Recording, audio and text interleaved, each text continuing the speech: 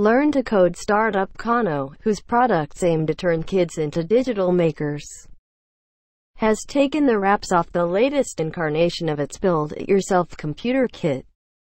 With the new flagship Kano is doubling down on touch interactions, urging kids to make your own tablet. The computer kit touch packs a 10.1 HD touchscreen along with Kano's now familiar bright orange wireless keyboard which comes with a built-in trackpad.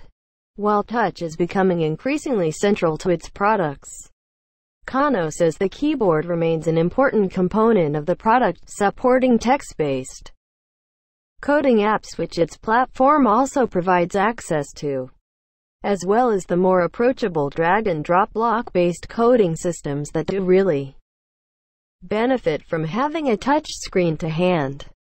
The kit, which Kano says is generally, but not exclusively, aimed at the 6 to 13 age range, is on sale from today, priced at $279.99 via its website, kano.me, as well as from selected retailers and e-tailers. The Raspberry Pi-powered computer is also getting increased storage capacity in this upgrade of 16 gigabytes. But the main refresh is around updating Kano OS, Kano's kid-friendly Pi topper, with expanded support for touch controls, according to founder Alex Klein. Last year Kano combined touch and keyboard-based interaction into a single product. The computer kit complete, calling that a DIY laptop. The 2018 refreshed version looks much the same with enhancements generally behind the scenes and or under the hood. On the Touch Kit itself there's also a set of new content that demystifies how touchscreens work and peels back the layer of the screen and shows you what's behind. And you're kind of touching the intersection of the different copper wires and seeing what's happening beneath, he adds. There's obviously a big hardware upgrade with the new ability to touch it to take it with you.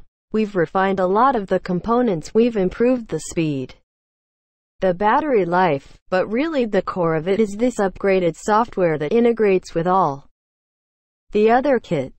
Talking of other kit, the Learn to Code space is now awash with quasi-educational gizmos, leaving parents in Western markets spoiled for choice of what to buy a budding coder.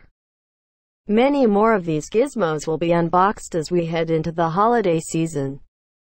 And while Kano was something of a startup pioneer here, a category creator, as Klein tells it, there's now no shortage of tech for kids promising some kind of STEM-based educational benefit, so it's facing an ever-growing gaggle of competition. Kano's strategy to stand out in an increasingly contested space is to fix unfamiliar elements says Stein, flagging for example the popular game Minecraft, which runs on the Kano kit, and for which there's a whole subsection of the Kano world community given over to hacking Minecraft. And, well, aside from block-headed Minecraft characters it's hard to find a character more familiar to children than the fictional wizard Harry Potter. So you can certainly see where Kano's trying to get with the coding wand. We broke our first month pre-order target in one day. He says of that forthcoming e-product, RRP tilde $130. There was massive coverage, massive traffic on our site. It was picked up all over the place and we're very happy with the pre-orders so far. As are our retail partners. The Potter Co. branding play is certainly Kano trying to make its products cast a wider spell by expanding the appeal of coding from nerdy makers to more mainstream child consumers. But how successful that will be remains to be seen. Not least because we've seen this sort of tactic elsewhere in this space. Sphero, for example, is now rolling back the other way, shifting away from Star Wars co-branded bots to a serious education push focused on bringing STEM robotics to schools. Although Kano would doubtless say a programmable bot that rolls is not the same as a fully fledged kid computer that can run all manner of apps, including familiar and fashionable stuff like Minecraft and YouTube.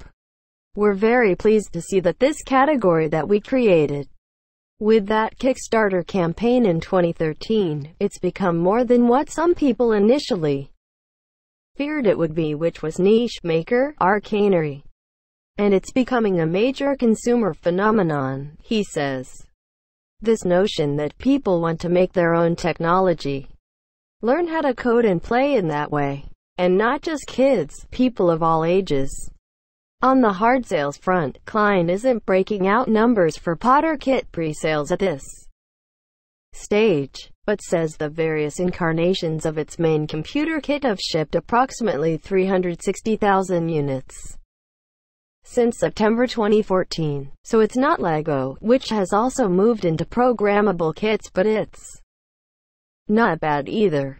In recent years Kano has also branched out into offering Internet of Things kits previewing three Code Your Own connected devices in 2016, and launching Kickstarter campaigns to get the products to market. It's since shipped one, the Pixel Kit, but the other two, a build-it-yourself camera kit and a DIY speaker, remain delayed, leaving crowdfunder backers waiting for their hardware. Why the delay? Have Kano's priorities shifted, perhaps because it's focusing efforts on co-branded products like the Potter Wand versus creating more of its own standalone devices. We are still committed to shipping the speaker kit, the camera kit, Klein tells TechCrunch.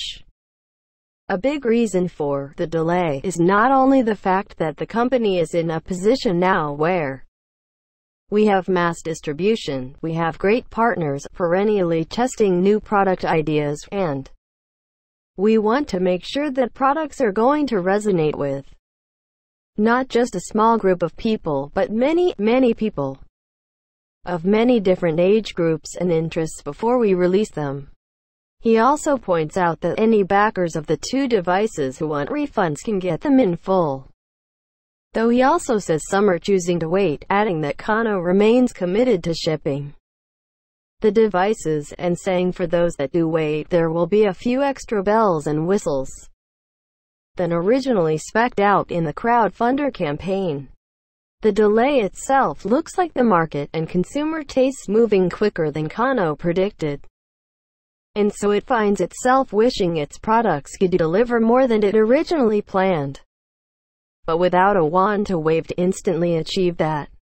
This is also a pitfall with previewing anything months or years ahead of time, of course. But the expense and complexity of building hardware makes crowdfunding platforms attractive. Even for a relatively established brand like Kano. The delay is really unfortunate, he adds. We did say they would ship earlier but what we have done is we've offered any backer a full refund on the camera and the speaker if they don't want to wait. But if they do wait they will receive incredible camera, incredible speaker. Both of them are going to benefit from the advancements made in low-cost computing in the last year. The speaker as well is going to have elements that weren't even part of the original campaign. On our side it's critical that we get those products absolutely right, and that they feel mass in that they demystify not only coding and the Internet of Things, which was part of the original purpose, but in the case of the camera and the speaker, there are elements that have come to the fore in more recent months like voice interaction and image recognition that we feel if our mandate is to demystify technology and we're shipping a camera and a speaker, that's kind of part of it.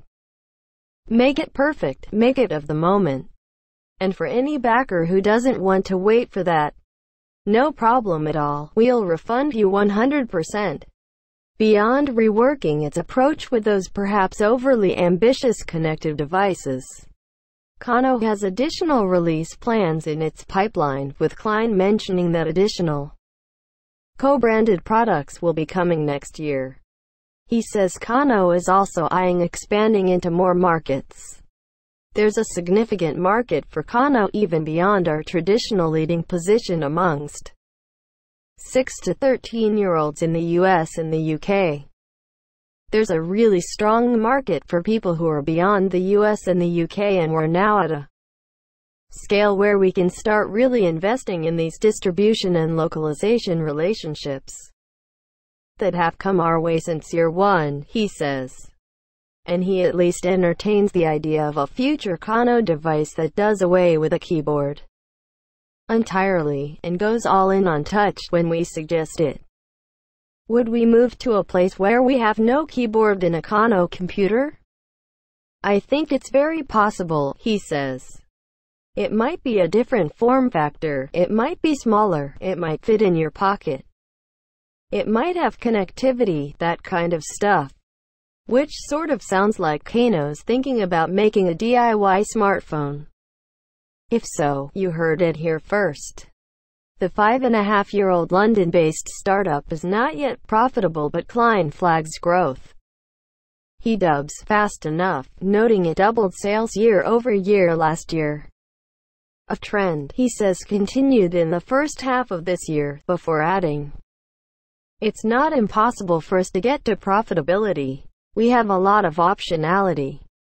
But at the moment, we are making investments in software.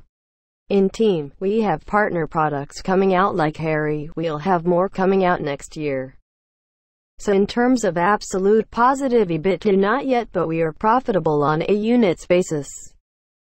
Kano closed a $28 million Series B last year, and has raised some $44.5 million in all at this stage. According to Crunchbase, is it raising more funding now? I think any entrepreneur who is looking to do something big is always in some sense keeping an eye out for sources of capital, replies Klein, as well as sources of talent. He points by way of a connected aside to this study of C-suite execs carried out by Stripe and Harris Poll, which found that access to software developers is a bigger constraint than access to capital saying, I read that and I thought that that gap between the 1% of 1% who can develop software or hardware and the rest of us is exactly the challenge that Kano set out to solve. From a consumer and education perspective, in terms of fundraising we do get a lot of inbound, we have great investors at the moment. He adds, we do know that the scale of this particular challenge, which is demystify technology, becomes synonymous with learning to code and making your own computers that requires significant support and we'll be continuing to keep our eyes out as we grow.